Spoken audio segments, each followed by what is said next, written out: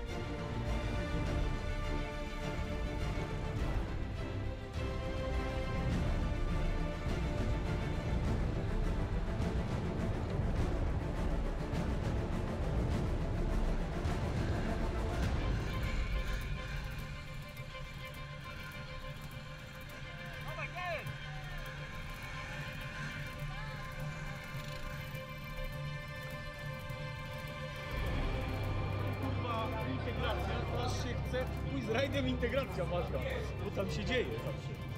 Ale rajd już...